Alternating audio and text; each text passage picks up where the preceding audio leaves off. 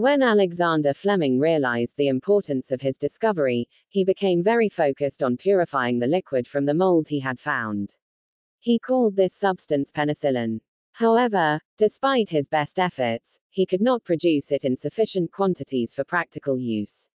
Realizing he needed help, Fleming asked for help from a team of Oxford scientists. This team included Dr. Norma Bates, a very smart and calm biochemist, and Dr. Edward Clark, a passionate biologist.